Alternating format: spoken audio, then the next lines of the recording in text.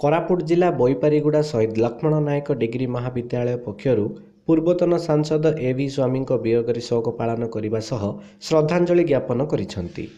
ମହାବିଦ୍ୟାଳୟର ଅଧ୍ୟକ୍ଷା ସ୍ନେହଲତା ପଟ୍ଟନାୟକଙ୍କ ଅଧ୍ୟକ୍ଷତାରେ ଛାତ୍ରଛାତ୍ରୀ ଓ ମହାବିଦ୍ୟାଳୟର ସମସ୍ତ ଅଧ୍ୟାପକ ଅଧ୍ୟାପିକାମାନେ ପୂର୍ବତନ ସାଂସଦ ଏ ଭି ସ୍ୱାମୀଙ୍କ ବିୟୋଗରେ ଶ୍ରଦ୍ଧାଞ୍ଜଳି ଦେବା ସହ ଦୁଇ ମିନିଟ୍ ନିରବ ପ୍ରାର୍ଥନା କରିଥିଲେ। ବୋଇପାରିଗୁଡ଼ା ଶହୀଦ ଲକ୍ଷ୍ମଣ ନାୟକ ଡିଗ୍ରୀ ମହାବିଦ୍ୟାଳୟରେ ପୂର୍ବତନ ସାଂସଦ ବହୁ ଅବଦାନ ରହିଥିବାରୁ ତାଙ୍କ ମୃତ୍ୟୁକୁ ସହଜରେ ଗ୍ରହଣ କରିପାରୁନାହାନ୍ତି କଲେଜ କର୍ମଚାରୀ ଓ ଛାତ୍ରଛାତ୍ରୀମାନେ